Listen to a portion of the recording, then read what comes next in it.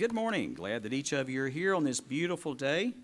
And I'm glad that I'm here on such a beautiful day in the Lord's house and on Father's Day to boot. It's a great place to be.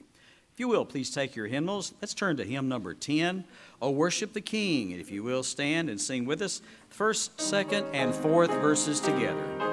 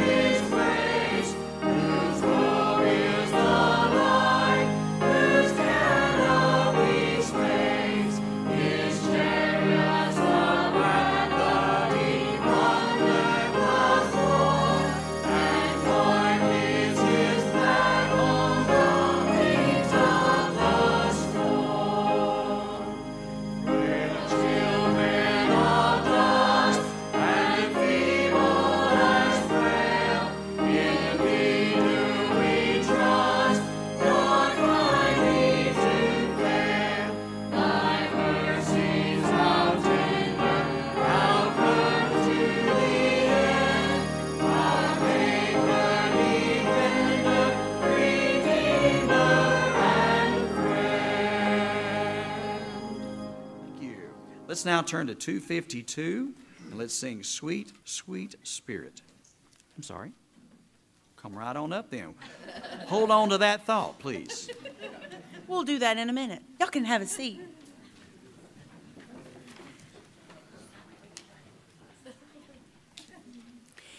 It feels so good to be here and say this.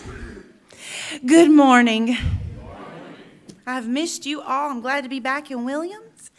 Welcome, everyone, to Williams. Um, if you would grab your bulletins and look on with me.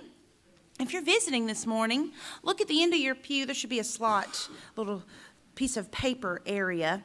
And uh, there's a, a, couple of questions on a sheet of paper that says welcome. And if you could just fill that out and turn it in in the offering plate, that would be great. First, we have an announcement from handsome Les. Come on up here, Lester.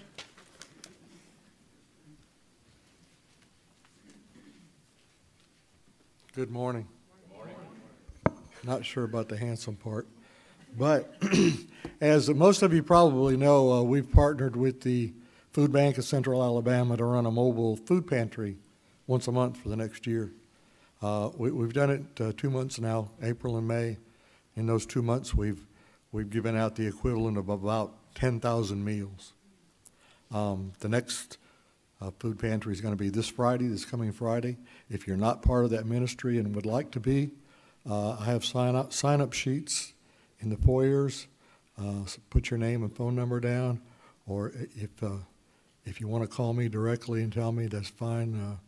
Uh, uh, we do need some some more volunteers.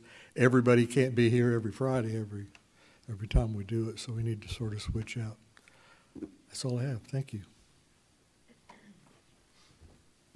Thank you, Les. All right, look with me. Some announcements I would like to tell you about or remind you about. Here are some things that are not in the bulletin, so listen up. Um, if you consider yourself a young adult, um, we're going to have a little get together on July 1st that evening and go to dinner and a movie. And there will be more information to come in the bulletin next week, but just ponder this week if you are a young adult or not. Just think about that. Okay. All right. Now, Scotty is in need of you to go to him and put your name on the sign up sheet for snack or smack this summer. So if you want the youth to come over, enjoy your food, enjoy your pool, um, we'll come over on a Sunday morning for smack or a Sunday night for snack. So you see him, get your name on the list. Next week, I would like to meet with the Children's Committee at 4 o'clock, so just put that down on your calendars. I'll remind you next week. And um, if you will look in the bulletin, here's an announcement that's in the bulletin. Look under Perry County Mission Trip. That is going to happen um, on the Saturday of July 30th, and there's some sign up sheets if you're interested in being a part of that. So get your name on that sheet. But there's another project coming up very soon, actually, this coming Saturday morning at 7 o'clock. You can meet here at the church, and there is someone in need of their house being painted, and I think we're pretty good at painting houses. We're pretty good at it. So come and be a part of that this Saturday at 7 o'clock. All right, and there's other things that you can read about that's important, so make sure you read them. All right, so now find someone that you have not hugged yet, that you have not kissed on the cheek or said good morning to. Ready? You found them? Stand up, go.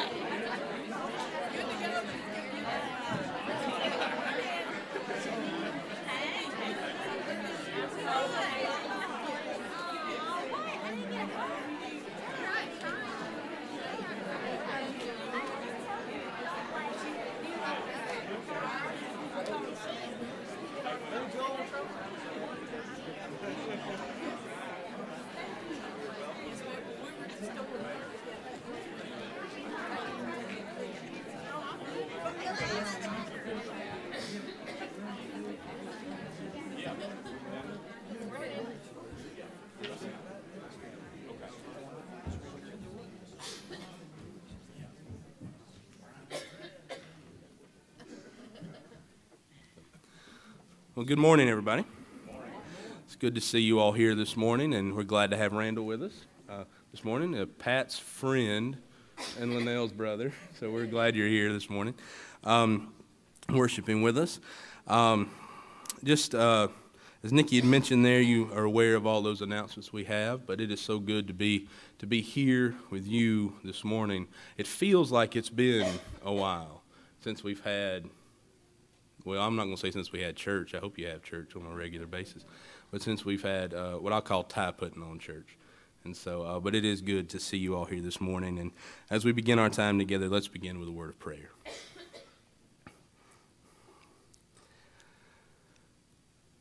Eternal God, Father, Son, and Holy Spirit. Lord, as we are in this place this morning, as we've come to gather with family and friends, there's sounds of laughter and joy and, and seeing folks we haven't maybe seen in a little while. God, we also come this morning with the news of this past week, the past few weeks, Lord, on our minds and on our hearts. And so we take time in this, this time we've set aside for worship to pray, God, for, for the people who were affected by tragedy, to pray for our country pray for our world, but most of all, God, to pray that your Holy Spirit empowers us to be the presence that changes the world and not simply the presence that points the finger at it. So, God, be with us here in this time of worship. Lord, help us to, to lift up our hearts, our voices, our prayers. Bless, Lord, our, our offering of worship and praise this morning. And may your Holy Spirit be here speaking to us, stirring within our hearts, showing us, Lord, what it means to be more and more like you. It's in the name of Christ our Lord we pray. Amen.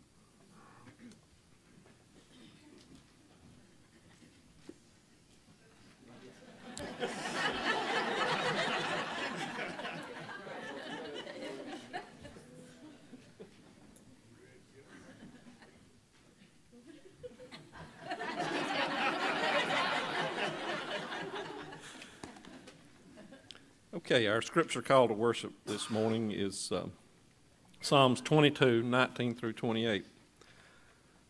But you, O Lord, do not uh, be far away. O my help, come quickly to my aid. Deliver my soul from the sword, my life from the power of the dog. Save me from the mouth of the lion, from the horns of the wild oxen. You have rescued me.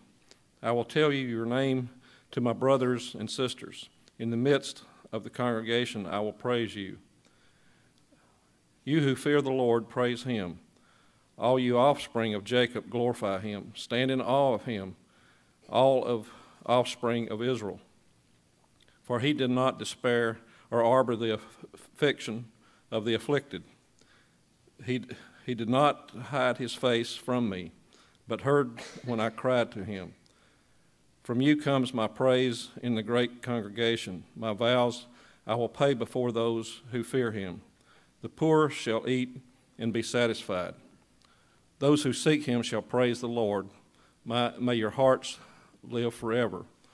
All the ends of the earth shall remember and turn to the Lord, and all the families of the nations shall worship before him. For dominion belongs to the Lord, and he rules over the nations. To God be the glory.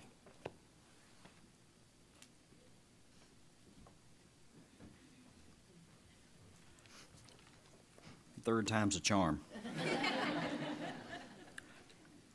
Isn't it great that we don't have to expect everything to go perfectly or we fall apart?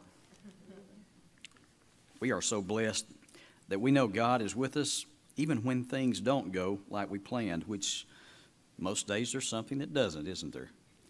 Let's take our hymnals now, please, and turn to 252, a wonderful hymn, Sweet, Sweet Spirit. Let's stand as we sing together, please.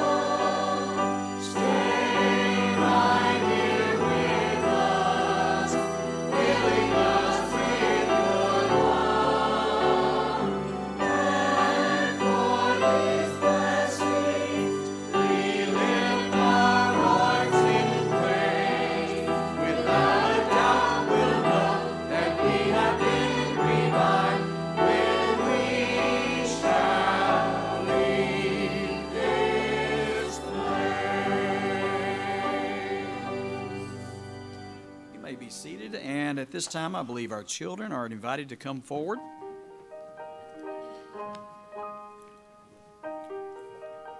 Children are kind of big here, aren't they then? Come on down. Here we go.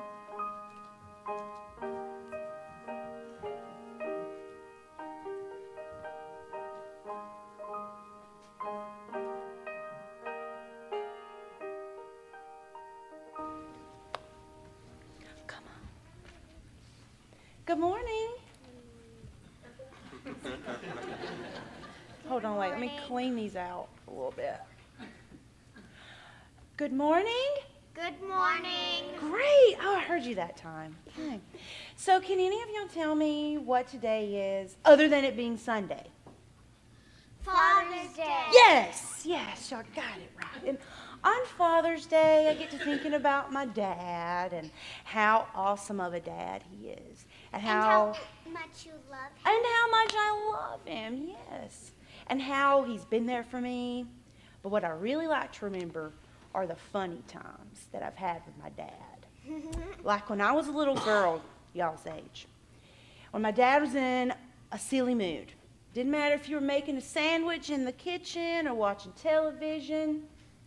The claw came out.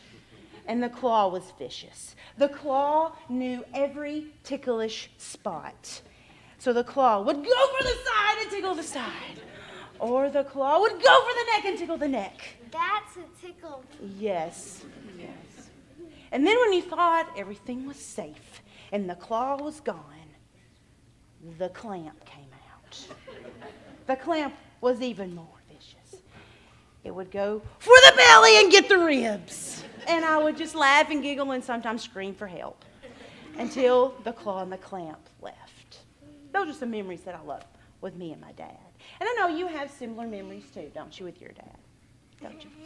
Well, you know what? There are some kids that don't have those moments to share. They don't have a dad, or their dad's just not around a lot and they don't see him. But here's something cool. I have the Webster's Dictionary. I think it's 1975 edition. Um, but it is a book of words, and it tells us what words mean. So, under father, there are many definitions. One of the definitions is a father is a man who has a child, like our dads, right? Another definition is a father is an older man, and that's very true with my dad because he's very old. But y'all's dads are not. So. Okay. All right. And then the very last definition that I love the most is that a father can be a leader. Now, God is just so great because He puts some awesome men in our lives who love us, that we can look up to, and they help teach us and help us make the right decisions in life. But we don't call them dad. They're not the fathers that we take home with us, but they're just as important. And you know where to find those great men? Here in this church. Oh, yes. God. Look around. Look, look. Try to find some men. Some of them are your dads. Hey, Dad. Hey. Yeah. But some of them are not. We don't call them dad, but they are pretty cool men. They're in our lives for a reason. So we're going to recognize all the men this morning. They're going to stand up and you're going to help me give them a treat. Like our mothers, they got some sugary treats from Mad Hatter. And what? So will our fathers too. They get a cupcake. Woo! Oh yeah. So, Caroline's ready. It's wearing you out. It's wearing me out too. All right. So, y'all ready to help me pass out? the treats. Okay, so if all of our men, every man has to stand up and receive a prize. And here y'all, y'all go. So y'all go ahead and stand up.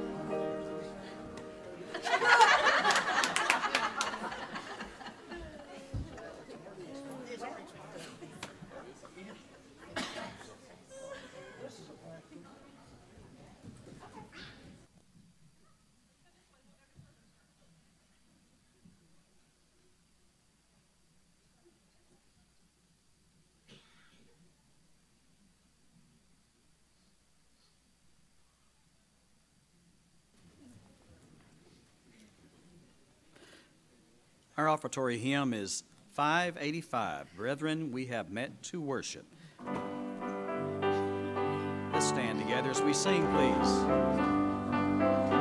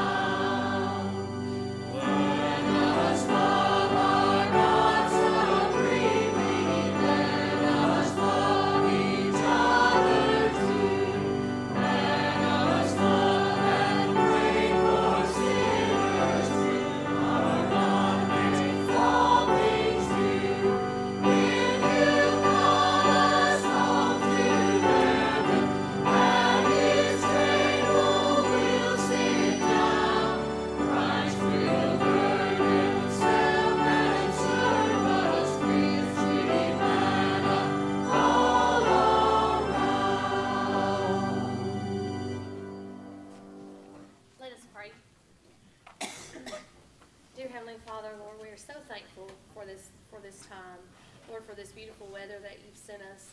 Lord, for our, our fathers, for our leaders, Lord, we, we thank you for them. And Lord, for those um, that today is hard, we pray for them.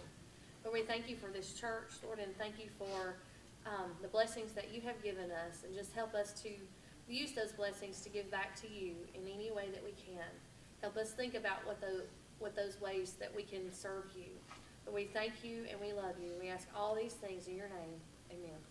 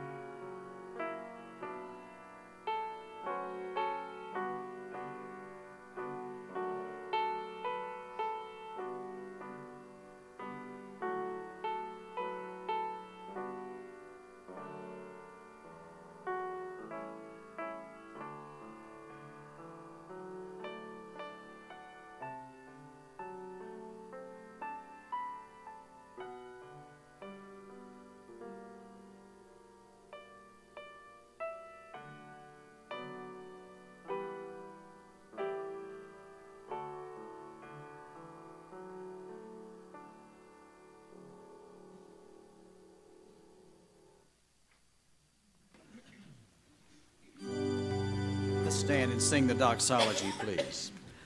Praise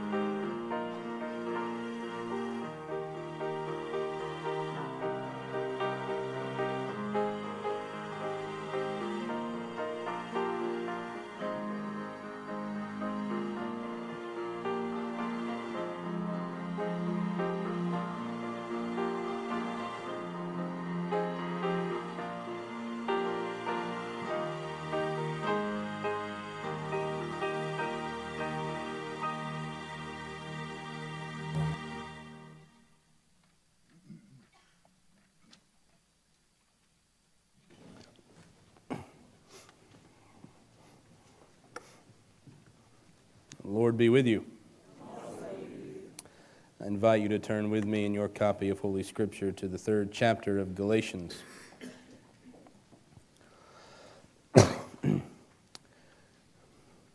Galatians chapter 3, we'll be reading verses 23 through 29. And I think, I think this time next year we're going to, in the offering plate, pass around lozenges too, because I'm like, I hear some of y'all, I know it's not echoing amens. I know we're all just, so. Galatians chapter 3, beginning with verse 23, reading through verse 29. Now, before faith came, we were imprisoned and guarded under the law until faith would be revealed. Therefore, the law was our disciplinarian until Christ came, so that we might be justified by faith. But now that faith has come, we are no longer subject to a disciplinarian. For in Christ Jesus you are all children of God through faith. As many of you as were baptized into Christ have clothed yourself with Christ. There is no longer Jew or Greek. There is no longer slave or free. There is no longer male and female. For all of you are one in Christ Jesus. And if you belong to Christ, then you are Abraham's offspring, heirs according to the promise. May God bless the reading and hearing of Holy Scripture. Would you pray with me?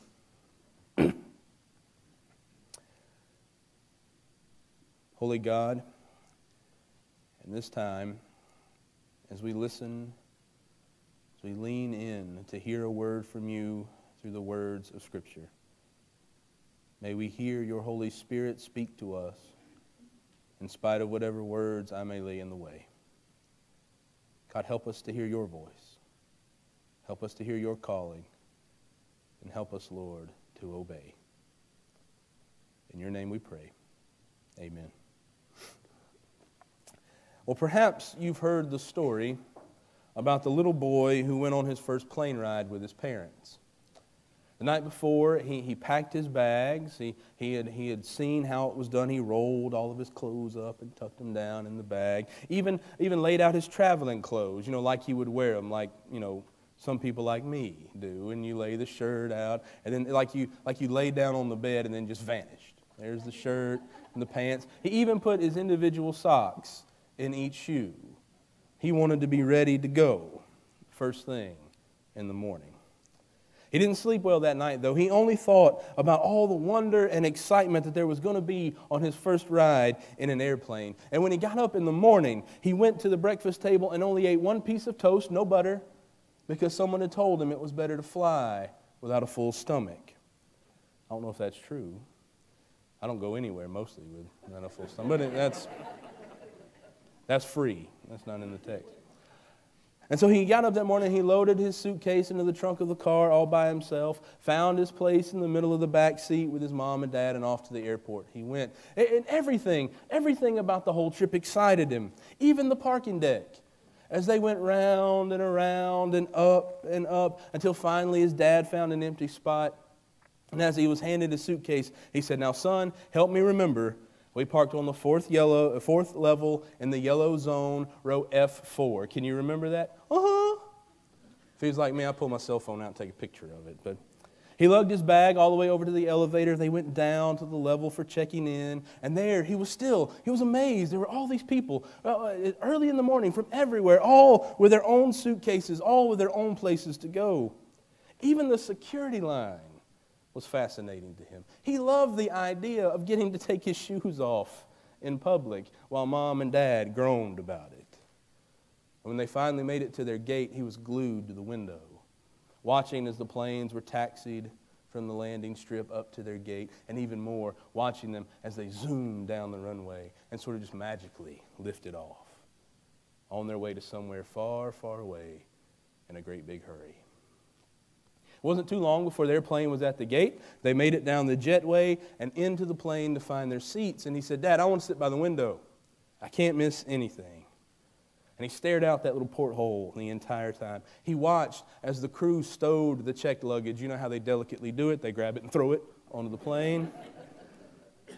And he watched as the ground began to move after that thud, when the taxi began to move it away and out toward the runway. And then he watched as he heard the engines spool up, as he heard that roar that sort of overtakes everything, and then that sudden thrust, and the ground moves faster and faster and faster until suddenly you can feel the front lift and then the whole thing, and you're in the air. And the ground got farther and farther away. His dad watched him the whole time as, as his son looked out the window. But once they had gotten up pretty high and been traveling for a while, he noticed his son wasn't nearly as excited as he had been all morning. He asked him, he said, Son, is something wrong? He turned around and sort of sunk down in the seat, stared at his shoes. He said, Dad, there aren't any lines. The boy's father was a little confused. Said, Son, what do you mean there aren't any lines? He said, You know, the lines that outline Alabama and Mississippi and Georgia. I don't even see where it says what state they are across them. I suppose when all you've ever seen of the country, all you've ever seen of the world, is a flat map or a globe with lines drawn on it, with names, words, labeling one state or one country from another, you might come to expect to see those lines and those labels from the window of an airplane. Isn't it something, though, that once we get high enough, once we or reach a certain altitude, once we, I don't know, see things perhaps from God's perspective, that the lines we've drawn and the labels we've made, they tend to disappear. Or better, and perhaps more truthfully, they were never there in the first place. Reality is, we've put those lines there. We created those labels. Lines to separate ourselves, li- labels to clearly say who's who and what's what. Some of those lines were, were drawn a long time ago. They're handed down to us from our ancestors. Lines drawn around ideologies, religion, ethnicity, rivers, and mountains and streams. Some of the labels we use are also ancient ones created in a time when we thought it beneficial to identify differences, to highlight possible threats, to make sure people were different from us, places different from us.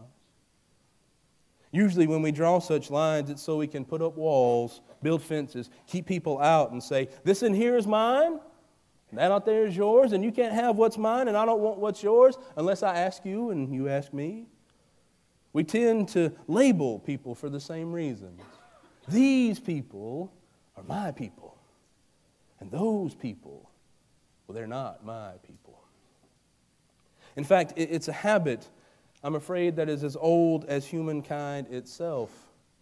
And it's one that unfortunately didn't even die with the first generation of Christians, not even with some of those who actually heard Jesus live and in person. We know because the Apostle Paul had to deal with this kind of line drawing, this kind of label making in much of his ministry, but specifically in his dealings with the church at Galatia. Because you see, it's there in Galatia that Paul had to deal with this group of legalistic fundamentalist Christians that some have called Judaizers. While they were followers of Christ and some of the first, they believed that every person, every person who wanted to be a Christian, had to first become a practicing Jew before they could be a real follower of Jesus. This meant a strict adherence to the law, to the Torah of the Hebrew Bible. That included dietary laws, laws about the Sabbath, laws concerning the cultic practices of the temple, ritualistic purity, how long your hair could be, what you could do on Saturday, those kinds of things. They also believed that in order to be a true follower of Christ, every man had to be circumcised. Now, can you imagine revival meetings for these people? Altar call comes, every man. I don't think they were full. I'm just saying. For Paul, this was ludicrous. This was insane. The, the, the whole of Paul's theology, his understanding of God in Christ, is founded in the grace of God. The unmerited, unearned salvation of Christ, the freely given eternal love of God. So to ascribe to the law, to be enslaved to the ancient practices of ritual sacrifice, laws concerning everything from the clothes you wear to the food you eat, flies, Paul says, in the face of God's grace. To the apostle, the demand to be a Jew first and then a Christian is absolutely absurd. And I happen to think so too. But to tell you the truth, I can understand it. I mean, really, I, I, can. I can understand it. After all, how many of us want to be a part of some organization our whole lives, a part of something our whole lives, having worked to gain a certain level of respect, a certain level of recognition, having earned so much, only to have a crop of new folks come in and expect to be treated as equals? I can understand it drawing lines, labeling things, saying this is how it has to be if you want to be a part of this, this is mine, that is yours. After all, I can remember when my first, the first time my stepbrothers moved in. I went from one boy in one bed in one bedroom, which is enough, to four boys in one bed in one bedroom. And that's not enough. You better believe there was some line drawing and some label making going on then. Now, you can't play with that. That's only for Thomases. You can't play with this. This is only for LaBeoufs, which, by the way, if you didn't know, that's my stepfamily's last name. And, and on and on. This drawer is mine. Those drawers are yours. You can't touch that. This one's mine. I can understand it. Really. When you've been doing something the same way your whole life and now someone else comes in, no, you got to play by my rules. You got to get on board. I can understand it to clearly point out the old rules to somebody who wants to join an established movement. I think that may have been a part of what was going on with Paul's opponents in Galatia. They were lifelong Jews, most of them. Maybe they were Gentile converts who had obeyed the laws, including that, that tricky one. And it just didn't seem fair. It didn't seem fair for somebody to come along and say, God loves everybody now. Jesus has made a way for everybody else. And they don't have to obey the law. The law, the law isn't what makes you righteous. That doesn't seem fair. It doesn't seem fair for others to join this Jesus movement without having to go through all the same things I've gone through. I can hear them. I can. It didn't seem fair to those folks for them to get the same benefits as me. But you know, we, we have a name for that. It's called grace. That's grace. To give one a pass, to forget about credentials and certifications of authenticity. Grace says, I may have been here longer than you, I may have earned more than you, I may, I may have been here more and done more than you, but come on in anyway. In fact, have a better seat than me. That's grace. Grace says there's no distinction based on age, experience, tenure, uh, salary, history. Anyone who comes is welcome. That's grace. But if we're honest, if I'm honest, grace, I don't like it a whole lot. I mean, grace is fine for me, right? I mean, uh, you, we know the song Amazing Grace, how sweet the sound that saved a wretch like me. But grace for no, no, maybe for others. Let me get to know him first. Then, then maybe grace is for everybody. But grace peels back the labels. Erases the lines we've attempted to draw, separating the worthy from the unworthy, the good from the bad, the sinner from the saint. However, when we start talking about the grace of God like that, when we start talking about the love of Christ like that, when we start talking about how God has erased all those labels we've made, when we start quoting words like Paul's verse 28 there's no longer Jew or Greek, no longer slave nor free no longer male or female, for all are one in Christ Jesus. When we start talking like that, especially in a day when folks get caught up in trying to make sure everybody obeys the labels they have, well, people start squirming a little bit. After all, those labels exist for a reason. Those lines were drawn for a reason, weren't they? And I'm sure I'm sure Paul's opponents in Galatia made that argument. That in order to be heirs to Abraham's promise, the Bible says, the Bible says, I can hear them, that you have to follow Abraham's covenant. That you have to follow these laws that we've been following for centuries. I'm also pretty sure at the heart of their insistence on becoming a Jew first, there was a hope that maybe, just maybe, these Gentile converts, these slaves, these women, these sinners, these not like me at all kind of folks would just give up and not want to be a part of the movement, not want to be around. Because you know, if you don't want someone in your group, if you don't want someone around you in your circles, in your community, all you really have to do is make a few rules, make a few laws that they'll never be able to keep. You know, like voting tests and poll taxes. If you want to keep someone out, someone you don't want in, just make it really hard for them. Or better yet, if you're a religious person, use religion. I mean, it's, it's tailor made for that stuff sometimes. At least you might feel a little bit better about yourself. At least you can blame it on something else. You could stand on street corners with signs printed with obscure biblical references, calling out the sins in communities of people you don't like. Or perhaps you could make a list of all the things, all the practices, all the required church services you have to attend, the proper way to be baptized, the right translation of the Bible to read, the proper percentage of your gross annual income in order to tithe, in order to be a proper Christian, all that kind of stuff.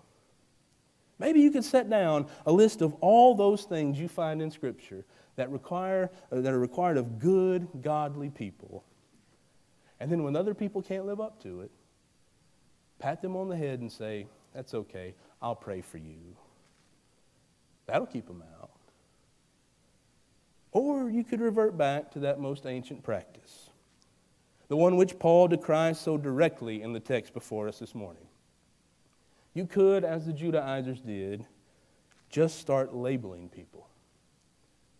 It's not that hard, really. Just find a flaw, a characteristic, an orientation, an identity that another person has that you just find unsavory, unfit, or just downright unbearable, and call them that. Call it out. Call it out and name those who you claim to be are unworthy of Christ's love, unworthy of God's grace, unworthy of the salvation which you have so freely and unconditionally been given.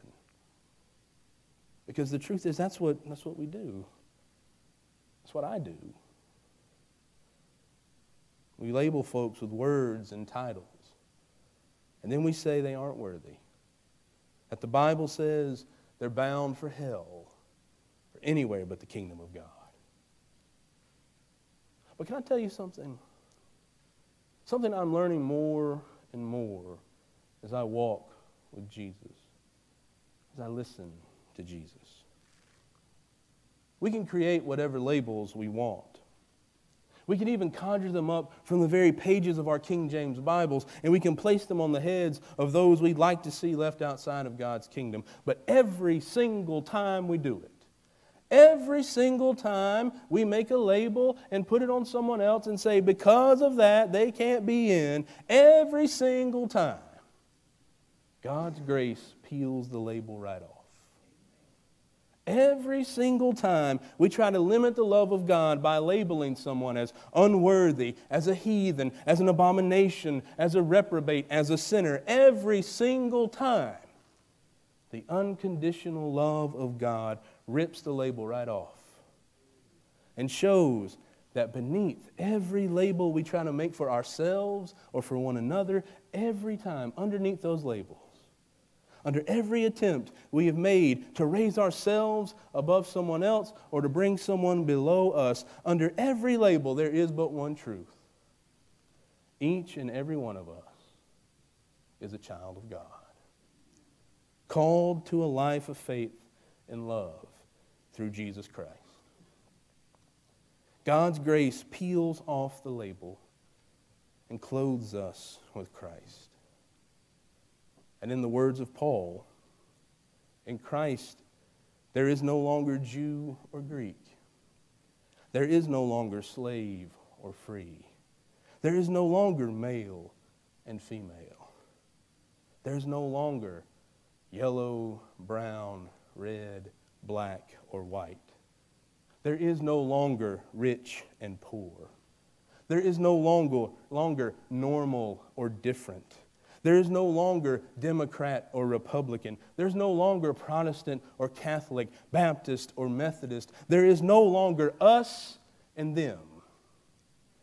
For all of us, all of you, are one in Christ Jesus.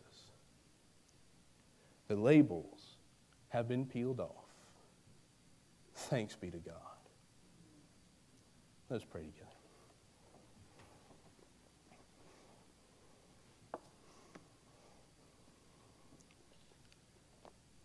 Lord Jesus Christ, Son of God, giver of the Holy Spirit. We are so thankful, God, that in our own attempts, in my own attempts, to label others, God, that you always peel those labels off. I'm thankful, Lord, that you've seen past the ones I've given myself. Lord, I pray you help me to see past the ones I've given to others. And I pray that for all of us. Remind us, Lord, that even when others have given us labels of unworthiness, that your love has shown us that that is just not true. Help us, Lord, to remember that for others. Lord, this morning, help us to take the words of Scripture to heart. Help them to be real for us. Not just words we quote when they are convenient, but words that shape and change us more and more into the likeness of your Son, Jesus our Lord. And so now, Holy Spirit, as we are here, as you speak to our hearts, as you stir in our presence, help us, God, to make whatever decisions we need to make, whether privately in our own lives, publicly before this congregation, our Lord, to you. Give us the strength and courage to make them, to be people in the image of Christ. Be with us now, we pray, in the name of Jesus our Lord.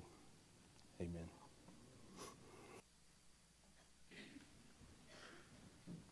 Our invitation hymn is 446 I Will Serve Thee.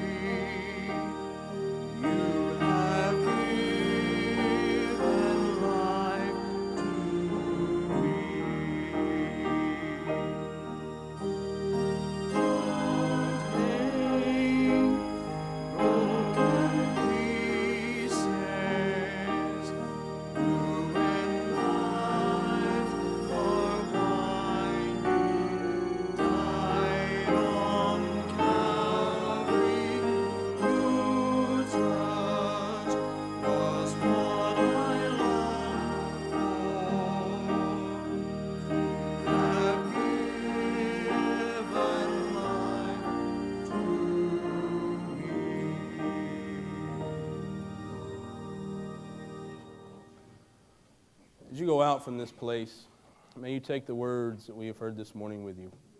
The words of Holy Scripture, the words the Apostle Paul breathed by the Holy Spirit. And as you go out, you attempt maybe the temptation to label someone. May the Holy Spirit move in you to rip the labels others have put on them first.